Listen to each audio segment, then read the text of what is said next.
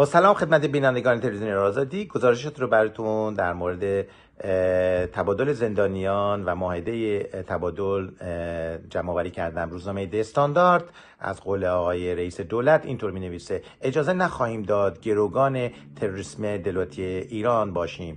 همچنین در این مقاله آقای وزیر دادگستری اینطور می نویسه که دولت ایران یک دولت سرکشه و اظهارات نادرستی میفرسته. اونها متخصص در دستکاری هستند. همچنین خانواده آقای واندکاستر در برنامه ترزاکی دیشب در تلویزیون ویارتی دولت ایران رو یک دولت یاقی و مافیایی اعلام کردند سایت خبری LM 24 از قول آقای دیکرو اینطور می نویسه هیچ تعهدی به رئیسی ندادم.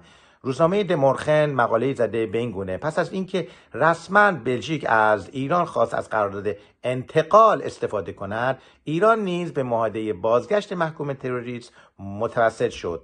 اسمش را تجارت نگذارید.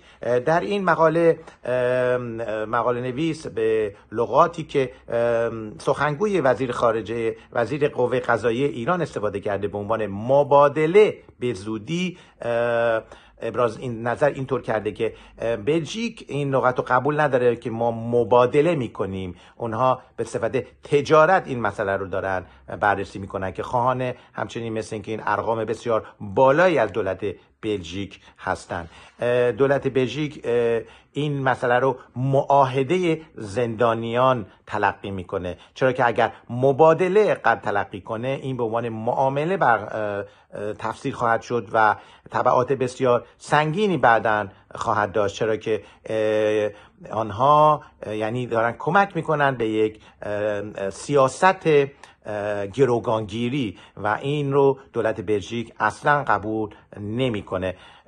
خب گمان زنی های زیادی وجود داره. همطور از طرف دیگه شما می‌بینید که در دولت رژیم خامنه ای هم خیلی مشکلات زیادی وجود داره که خامنه ای خودش در سخنرانی اخیرش تمام قوه های سه قوه کشور رو درخواست کرده متحد باشن در سیاست های خودشون. این نشون میده که امروز این میزی که چپه شده در مورد تبادل زندانیان نشان دهنده که چالش بزرگی بین قوه های سه قوه رژیم دیکتاتور آخوندی وجود داره. گمان زنی از طرف دیگه هم اینطور دیده میشه که الفاظی که دولت بلژیک استفاده می‌کنه امروز با دیروز بسیار متفاوته.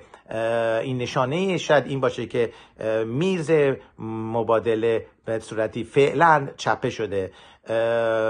الفاظی مثل تروریسم دولتی یا دولت یاقی دولت سرکش مافیایی اینها لغاتی هستند که نشانه بسیار مهمی هستند از دوری دولت بلژیک از این یا فاصله افتادن برای این ماهده مهدی نوبری هستند تلویزیون ایران آزادی بروکسل.